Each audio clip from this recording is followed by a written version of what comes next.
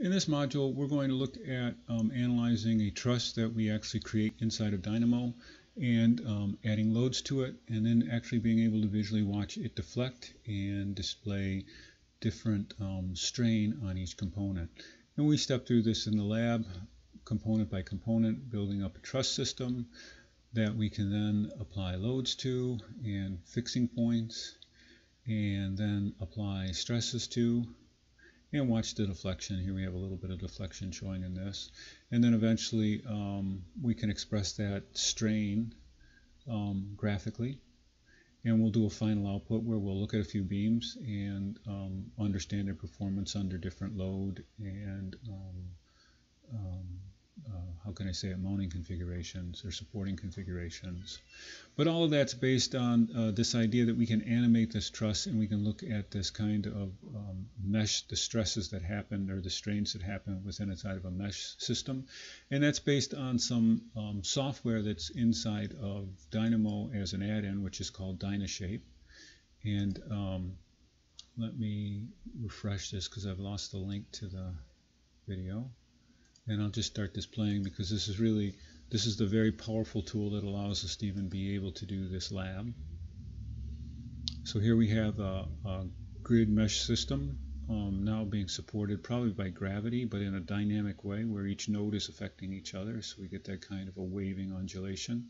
You can see where it's pinned down at certain points, at anchor points, and then disrupting that structure and having that structure physically respond to that. So it's a really beautiful piece of software. It adds a second layer or another layer of animation to what's our static BIM drawings. Here it looks like a um, exposed to a wind system and um, being able to manipulate it in real time. But this is all um, just to demonstrate how powerful this tool is. We're going to use it in a very simplistic way to look um, at a truss. But it is just the beginning of the utilization of this powerful tool and what it could mean to you in future um, analytical situations. So I'll just jump out of this now. And so we're going to have to load that up into Dynashape, into Dynamo, in order to get that functionality. And all of this is based on um, where I got the idea for this project. And I'll go back to the first slide in this. Um, this was part of an Autodesk University presentation. Um, um, I thought uh, Dieter Vermeulen um, is a really bright um, structural engineer who's now working, I believe, for Autodesk. And he put together a great presentation here. And I want to step through it because a lot of what the idea behind starting with the, um, the analysis of a truss is for us as architects is to figure out how to make complex systems and then how to optimize them both for their aesthetics and their structural performance. So I want to get us, um, um, it is the prelude to us getting into generative design. And this presentation had a lot of nice aspects describing that.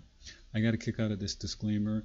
It talks about how Autodesk uh, provides products and ideas, but they may not actually pan out in the long run, which means you may start using some software and it might just um, disappear.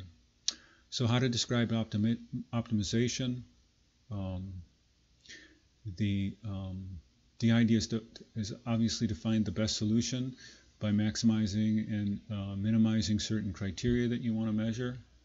Um, the, the, idea of a huge design space of ideas or possibilities uh, coming to an optimal single solution.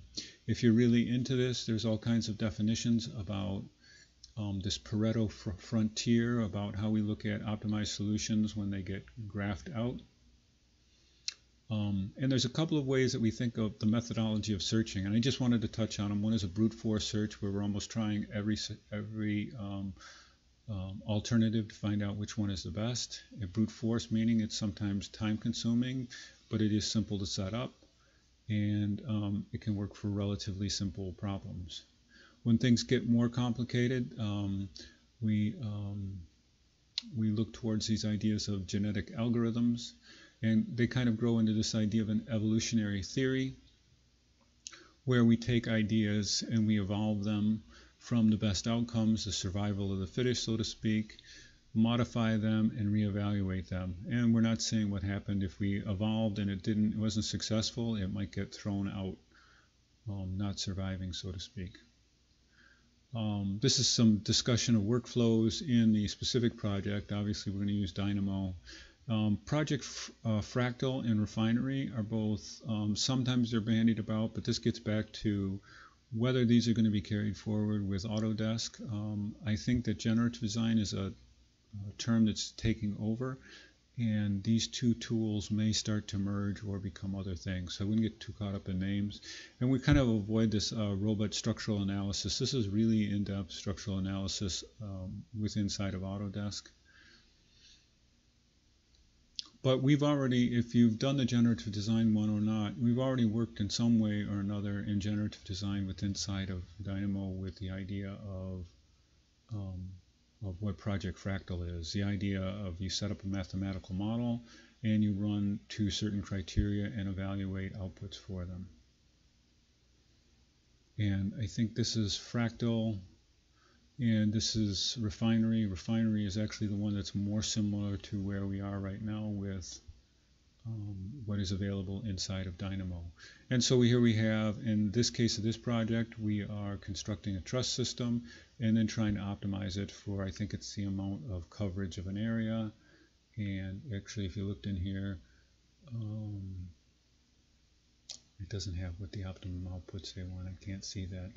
Um, but um, platform area is one of the performance criteria that it wants. So it wants to make this as large as possible with the least amount of materials. And so that's a relatively complicated uh, kind of set of analysis. Um, so he talks about a bunch of different projects, but the idea of the software that gets used for them, I don't want to spend too much time with that. I really wanted to just show you this image because we're gonna, you can see how it's very similar to what I've just described in our project we have um, um, fix, fixing points. In my case, I made these gray. I think I made the loads red in our project. He's not showing the loads here. And then we're using um, sliders to make adjustments to our geometry. Um, and in this case, we uh, use Dynashape um, as the um, functional program, um, but we're really not going towards um, a truss optimization. We're really just looking at evaluating them at this point. But in this case, if we were to, if you were actually just to want to do this project, you could go through and um, especially with what you've learned in this module, um, look at this more complicated space from space um, space truss. And um, as you can see here, they're showing you the deflections and the um, using the um, Dynashape uh, plugin, and then going through and optimizing it um, for whatever parameters you'd want. So he talks about the construction of it, um, which is really all that critical. He does a live demo of it. And here's another um, idea of optimizing a simple truss. And this is um, I thought it was too limited for, you know, just to give you an idea what was going through my, my thinking. The idea of the variation of the shape was only to um, influence the bottom chord of this design. So I thought it would be much more interesting to give us a lot more variables in the design of our truss system, especially with loading points, kind of as if we were to be able to move off to our own kind of beam analysis system. Um, but um, just for your own um, knowledge, I guess, um, Autodesk has um, these external tools that function very much like Revit. So actually, as you can see here, let me back up. Oops. Lost it. There we go. We've got, um, same as I'm describing, that idea of showing you by the thickness of this element how much uh, stress is in that uh, specific unit. Um, in our case, we're able to color those because we can tell whether it's a push or pull function, and then um, kind of actually add a little bit more uh, visual interest in it.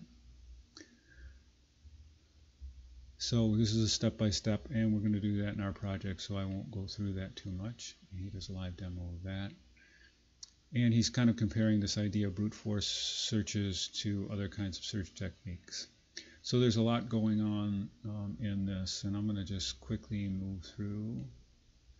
Here now we have a genetic algorithm, so he's actually showing this idea of proposing specific kinds of shapes, then selecting the ones that um, do right, evaluating them for fitness, and then um, putting them back in and then reconfiguring them or um, changing some parameter on them and then putting them back in um, kind of like as an evolutionary process.